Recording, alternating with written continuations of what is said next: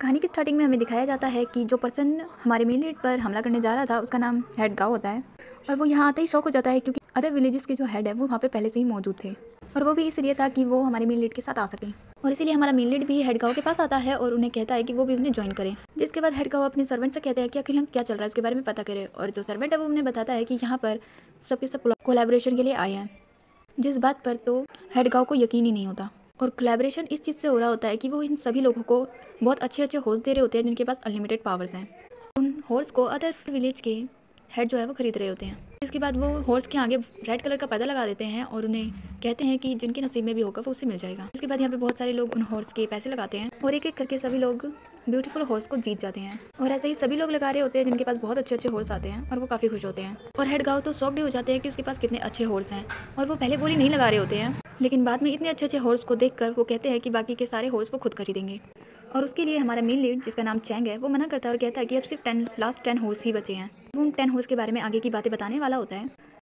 Head गाँव जो है वो सारे हॉर्स को खरीद लेते हैं, जो कि कुछ खास नहीं होते और उनमें ज़्यादा पावर्स भी नहीं होती। और इस चीज़ को देखकर वो काफ़ी ज़्यादा गुस्सा होते हैं चैंग पर। और उससे फाइट करने के लिए बोलते हैं। लेकिन तभी बाकी अदर सेक्ट के लोग जो उनसे कोलेब्रेशन कर चुके होते हैं, वो सब हेड गाँव के खिलाफ हो जाते हैं, जिससे हेड गाँव कुछ नहीं कर पाते। जिसके थोड़ी देर बाद को सीन दिखाया जाता है, जहाँ पे ये सब काफ़ी खुश होते हैं कि सभी हॉर्स को देने के बाद इनके पास काफ़ी सारा फ़ूड है और काफ़ी सारा कोलेब्रेशन भी है कि कभी भी उन्हें मदद की ज़रूरत हो तो सब कुछ प्रॉपर हो सकता है। लेकिन तभी वहाँ पे चिल्लाते हुए लिंक आती है और कहती है कि कुछ बुरा हुआ है। और जब वो उस जगह पे जाता है तो उससे पूछता है कि आखिर यहाँ पे रोंग क्या है? और लिंक बताती है कि हमने बहुत सारी खेती की है। टर्निप्स की, यानी कि मूली की, जो कि काफ़ी ज़्यादा अच्छी बात है, लेकिन उसके लिए पता नहीं क्यों बुरी बात है। और तभी वहाँ पे सिस्टम आती है और उसे बताती है कि उसे ये सारा कुछ कंप्लीट करना है मतलब सारी मूलियों को निकालना है वो भी बहुत ही कम टाइम में। और उसके पास सिर्फ़ एक दिन है, ये सारा कुछ काम करने के लिए, जिसे सुनकर चैंग दाउली है जो हैरान हो जाता है, यानी कि हमारा मेन लीड और वो सोच रहा होता है अपनी जगह पे वापस आके कि अभी वो इतनी जल्दी एक दिन में ये सब कैसे करेंगे। क्या किसी के पास कोई आइडिया है, लेकिन किसी के पास कोई आइडिया नहीं होता कि वो इतनी जल्दी कैसे कर सकते हैं। और वो इन सब चीज़ों के बारे में सोच ही रहे होते हैं, लेकिन तभी वहाँ पे हेड गाँव आते हैं जो उसे कहते हैं कि मुझे तुमसे फाइट करना है, लेकिन वो खुद टूटी फूटी हालत में होते हैं होते हैं और आते ही बेहोश हो जाते हैं। जिसके थोड़ी देर बाद का सीन दिखाया जाता है कि जब वो होश में आते हैं तो उन्हें बहुत सारा खाना दिया जाता है खाने के लिए, लेकिन खाना खाते हुए भी वो उसे धमकी ही दे रहे होते हैं। और इस पर दाइली जो है वो उसे कहता है कि तुम्हें हमारे लिए एक काम करना होगा। और हमें थोड़ी देर बाद का सीन दिखाया जाता है कि वो उन तीनों से ही मूली निकलवाने का काम कर रहे होते हैं, जिसे हेड दाऊ देखकर हैरान हो जाता है और कहता है कि मैं ये नहीं करूँगा, चाहे कुछ हो जाए। और अपने सर्वेंट को भी काफ़ी ज़्यादा डांटता है कि वो उससे काफ़ी डिसअपॉइंट है, लेकिन सर्वेंट तो लिंक के साथ फ्लर्ट करने में बिज़ी होता है। और ये देखकर हेड दाऊ जो है वो हैरान हो जाता है और खुद से ही सारी मूली को निकालने लग जाता है और कहता है कि स्पीड इसे कहते हैं। और ये देखकर चैंग दाइली जो है वो सोचता है कि अब वो एक दिन में कंप्लीट कर लेंगे टास्क जिसके बाद हमें वापस से लिंक को दिखाया जाता है।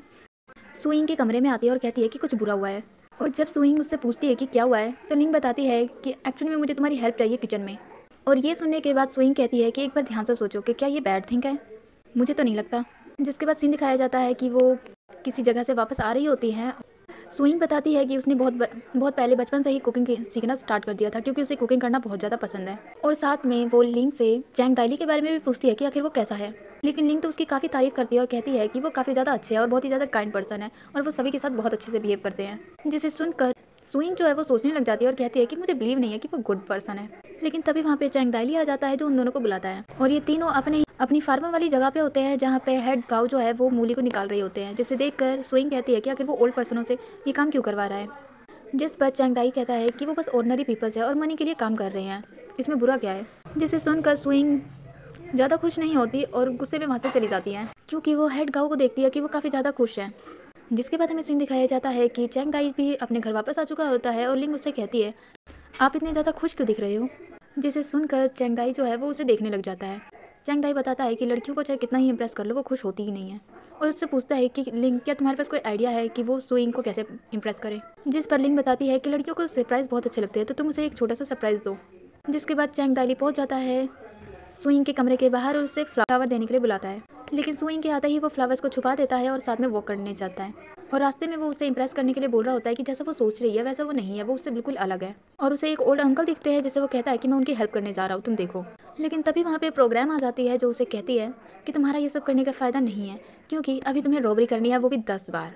जिसे सुनकर वो शौक हो जाता है और सोचता है कि आखिर वो रॉबरी कैसे कर सकता है, इस टाइप पे जबकि उसे सुइंग को इम्प्रेस करना है। और इसीलिए वो उस बूढ़े अंकल के पास जाता है और उससे कहता है कि मैं रॉबरी करने आया हूँ।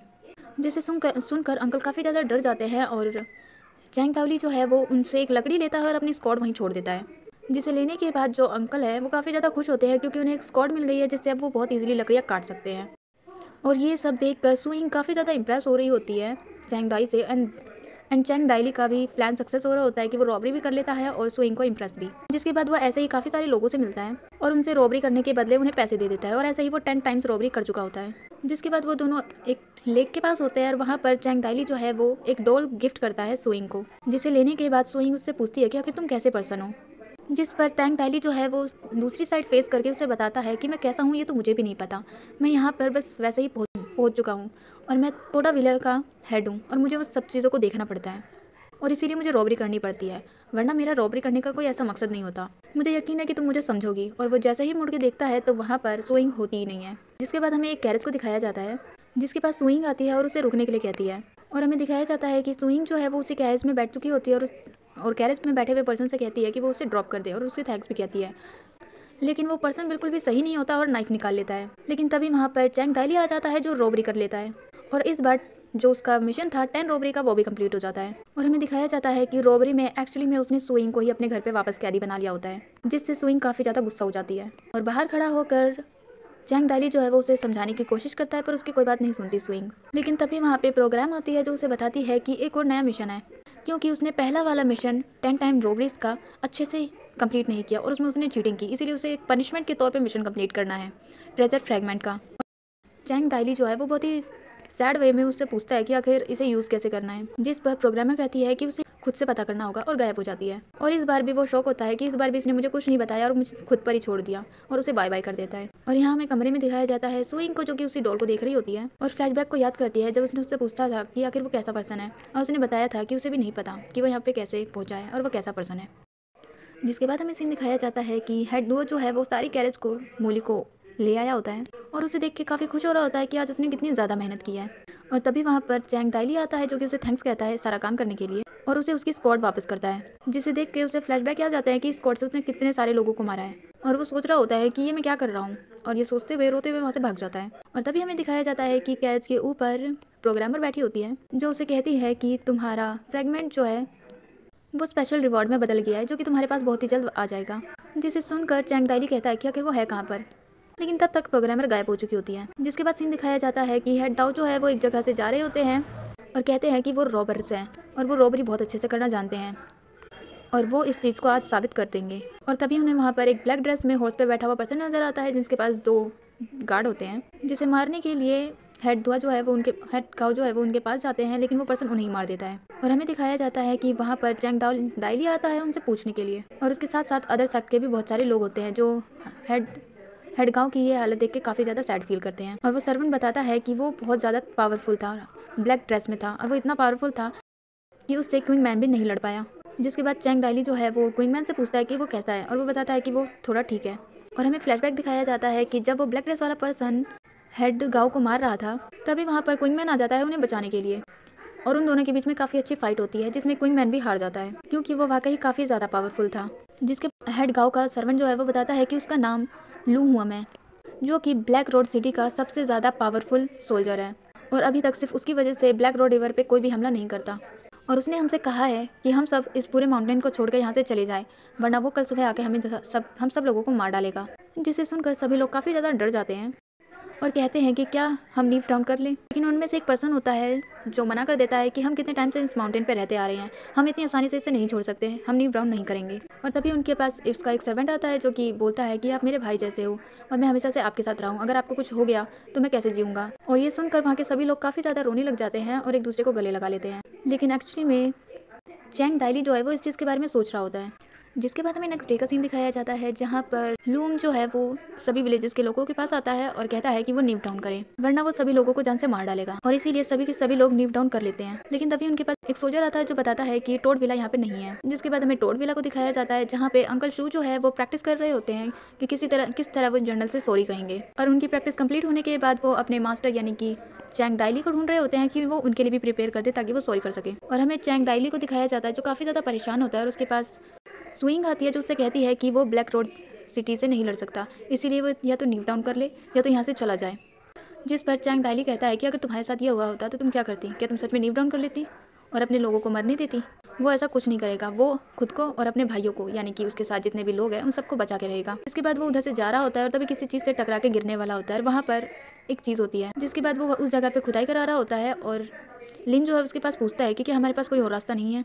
और चंग दाली कहता है कि नहीं हम बस टेन परसेंट भरोसा कर सकते हैं इसके ऊपर। और इसीलिए मैं एक बार ट्राई करके देखना चाहता हूँ। और हमें यह दिखाया जाता है कि किंग मैंग ने सारी खुदाई कर ली होती है, जिसके अंदर एक वेपन होता है और लिखा होता है कि ये लाइफ लाइन है टोटविला की। जिसके बाद हमें दिखाया जाता है कि लूहुम जो है, वो टोटविला के गेट पे आ चुका होता है और गेट को तोड़ने के लिए कहता है। लेकिन तभी गेट खुल जाता है और उसमें से चैंग दाइली आता है, जो उससे कहता है कि आप बकवास करना बंद करें। वो कुछ भी हो जाए पर नीक डाउन नहीं करेगा। जिसके बाद वो अपने वेपन को दिखाते हैं और कहते हैं कि वो और ज़्यादा इनोसेंट पीपल को मारने नहीं देगा और यहाँ पे खुद को और अपने टोट पिला के सभी लोगों को प्रोटेक्ट करेगा। जिसके बाद लू भी उनके ऊपर अटैक कर देता है सोल्जर्स के। जिसके बाद चैंग दाइली भी अटैक करता है। उसका जो तीर होता है वो वाकई काफ़ी ज़्यादा कमाल का होता है, जिससे एक ही बार में सारे सोल्जर्स ही नहीं, बल्कि लूहुम भी गिर जाता है।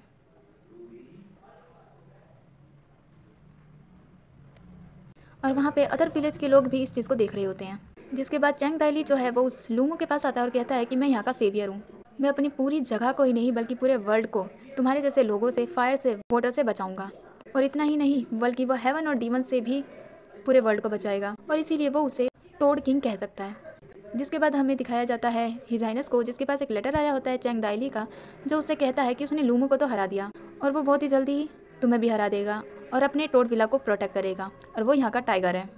जिसे सुनकर एम्पर को काफ़ी ज़्यादा गुस्सा आता है और वो कहते हैं कि ये पर्सन काफ़ी इंटरेस्टिंग है और हमें दिखाया जाता है चैंग दाइली को जो कि मज़े कर रहा होता है और पार्टी कर रहा होता है क्योंकि उन्होंने black black rock rock city को हरा दिया होता है। यहाँ पर हेड गाउट जो उनके खिलाफ थे वो भी उनके साथ होते और कहता है कि आज के बाद क्वीनिंग माउंटेन पे सभी लोग जो है वो एक फैमिली है और वो सब एक दूसरे को प्रोटेक्ट करेंगे। उनमें से बीच में एक पर्सन होता है जो उनसे कहता है कि ऐसा नहीं हो सकता। क्वीन माउंटेन का एक ही लीडर होगा जो कि है चैंग दाइली। इससे सभी लोग काफ़ी ज़्यादा खुश हो जाते हैं और ये सब देख कर सुइंग भी काफ़ी खुश होती है। और तभी वहाँ पर वो लड़की वाइट फोटेंस की हेड ग्रीन ड्रेस वाली आती है। टैंक दाइली पे लाइन मारने लग जाती है और उससे ड्रिंक करने के लिए कहती है और कहती है कि क्या तुम मुझसे, मेरे साथ ड्रिंक करोगी तो तुम्हारी वाइफ गुस्सा हो जाएगी। और सुइंग उन दोनों को इतना करीब देखकर कहती है कि इसकी वाइफ कौन है। और ये सुनने के बाद तो वो और भी ज़्यादा दाइली को अपने करीब कर लेती है, जिससे गुस्सा होकर सुइंग भी वहाँ से चली जाती है। जिसके बाद उसके पीछे पीछे चैंग दाइली भी जाता है और हमें सुइंग को दिखाया जाता है जो कि मून को देख रही होती है और तभी उसके पास चैंग दाइली आता है, जो उसे कहता है कि अगर तुम मुझे बिना बताए वहाँ से आ क्यों गई? और सुइंग कहती है कि वहाँ पे काफ़ी सारा अल्कोहल था तो मैं वहाँ से आ गई। जिस पर चैंग दाइली कहता है कि अगर तुम यहाँ अकेली रहोगी तो बोर हो जाओगी, और इसीलिए मैं तुम्हें बताता हूँ कि तुम्हें क्या करना चाहिए। जिस पर सुइंग कहती है कि तुम मुझे यहाँ से जाने दो, और वो कुछ और भी कहना चाहती है, लेकिन तभी जो चैंग दाइली है वो कहता है कि ठीक है, तुम यहाँ से जा सकती हो। जिसे सुनकर सुइंग शौक हो जाती है कि वो इतना ईजी कैसे मान गया। और चैंग दहली बताता है कि तुम काफ़ी ज़्यादा रिच हो और कोई भी रिच लड़की ऐसी जगह पे नहीं रह सकती, मुझे पता है। इसलिए तुम जा सकती हो।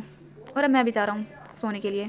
और ये बोल कर वो वहाँ से चला जाता है, जिसे स्विंग देख रही होती है। और हमें दिखाया जाता है कि चैंग दाइली और सुइंग की सारी बातें जो है वो लिंग लिन क्विन मैन और अंकल सू छुप कर सुन रहे होते हैं। और काफ़ी ज़्यादा दुखी हो जाते हैं क्योंकि चैंग दाइली ने सुइंग को जाने के लिए कह दिया होता है। जिसके बाद हमें नेक्स्ट डे का सीन दिखाया जाता है, जहाँ पे चंग दायली बैठा होता है और अंकल सू कहते हैं कि क्या तुम सच में चाहते हो कि स्विंग यहाँ से चली जाए? जिस पर चंग दायली कहता है कि हाँ मैं चाहता हूँ जल्दी जल्दी यहाँ से चली जाए। और हमें यहाँ दिखाया जाता है स्विंग के लिए कैरेज मंगाया होता है और उसके पास लिंग होती है, जो उससे काफ़ी सारी बातें करती है और काफ़ी सैड होती है उसके जाने से। जिस पर स्विंग कहती है कि तुम फ़िक्र मत करो, मैं तुमसे मिलने के लिए वापस ज़रूर आऊँगी, क्योंकि तुम बहुत ज़्यादा अच्छी हो। जिसके बाद वो वहाँ से चली जाती है और हमें दिखाया जाता है चैंग दाइली को, जो कि कल रात की फ्लैशबैक को याद करता है। जब स्विंग ने कहा था कि तुम मुझे यहाँ से जाने दो, तभी वहाँ पे प्रोग्रामर आई थी जिसने बताया था कि तुम सच में स्विंग को यहाँ से जाने दो, क्योंकि स्विंग के ऊपर एक बहुत बड़ी मुसीबत आने वाली है, जिससे तुम उसे प्रोटेक्ट नहीं कर पाओगे। अगर तुम यहाँ पे उसे रोकते हो तो तुम्हें बहुत ज़्यादा केयरफुल रहना पड़ेगा। लेकिन मुझे यकीन है कि तुम उसे प्रोटेक्ट नहीं कर पाओगे, क्योंकि ये प्लॉट में है। और ये सुनने के बाद चैंग दाइली जो है, वो स्विंग को जाने के लिए बोल देता है। और ये याद करके काफ़ी ज़्यादा सैड फील कर रहा होता है। और हमें सुइंग को दिखाया जाता है जो उसी डॉल को देख के याद चैंगदाइली को याद कर रही होती है क्योंकि ये लेक के पास उसी ने दिया था। जिसके बाद हमें चैंगदाइली को दिखाया जाता है, जिसके पास लिंग और अंकल शू होते हैं एंड लिंग काफ़ी ज़्यादा रो रही होती है सुइंग के जाने से, जिस पर दाइली कहता है कि तुम्हें इतना ज़्यादा रोने की ज़रूरत नहीं है। जिसके बाद वो देखता है कि अंकल सू भी रो रहे हैं और वो अंकल से पूछता है कि लिंग इसलिए रो रही है क्योंकि वो सुइंग के साथ काफ़ी अच्छा रिलेशन में थी, लेकिन आप क्यों रो रहे हो? जिस पर अंकल अंकल शू बताते हैं कि वो रोना नहीं चाहते, लेकिन उन्होंने ये रेड चिली खा लिया जिस वजह से वो रो रहे हैं। जिसके बाद चंग दाइली भी उस चिली को देखता है और कुछ सोचता है और यहीं पे हो जाता है आज का एक्सप्लेशन ओवर